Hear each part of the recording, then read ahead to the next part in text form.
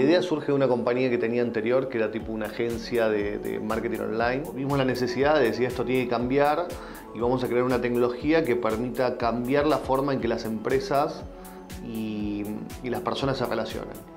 Y creamos, le dimos vida a Igo y creamos un producto que se llama AgentBot.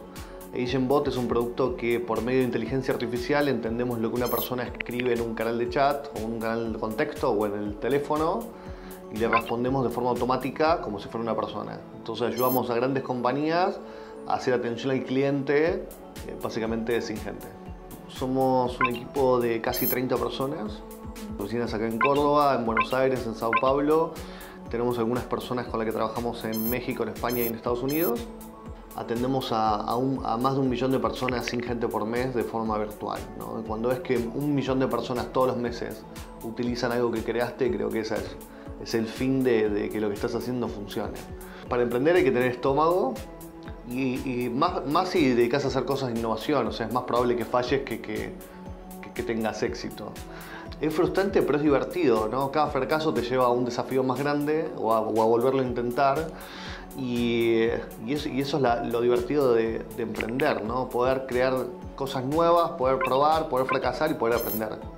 Eh, ya me acostumbré a fracasar, y porque es parte del show, todo el tiempo te puede pasar algo y la verdad que más cuando trabajas en un producto de innovación, en mercados donde no conoces la cultura, cuando la empresa está creciendo, eh, fracasar es parte del show. Diría que estoy más acostumbrado a fracasar que a tener éxito. Todo el tiempo nos vamos arriesgando en hacer cosas para que podamos llegar a ese objetivo que queremos y, fracasar es, no puedo seleccionar una idea que digas, che, esta fue el gran fracaso, porque todas son, importantes, ¿no? Yo creo que lo, de Brasil fue un aprendizaje de un millón de dólares. Es costoso y es complicado, pero ahí estamos arrancando de nuevo. Lo más difícil cuando sos emprendedor es ser realista. La segunda es eh, ser transparente. Te permite generar una relación muy muy fuerte con el cliente. Y la tercera que yo te diría que para mí es muy importante es rodearte de gente que sepa más que vos todo el tiempo.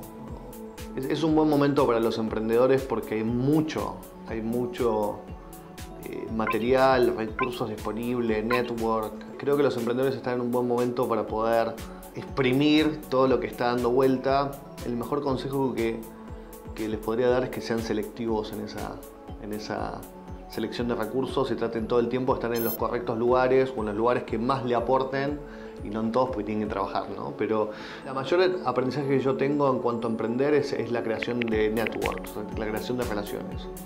Y estos espacios son muy buenos para ir contar tu idea, tu necesidad y contársela a todo el mundo para que alguien que está en el evento, que está en el lugar o que está, o está haciéndote una mentoría te pueda ayudar a pegar un salto mucho más acelerado que al fin y al cabo el único recurso que no puedes comprar es el tiempo, así que más rápido vayas o más adecuadas sean tus decisiones, mejor, mejor te va a ir.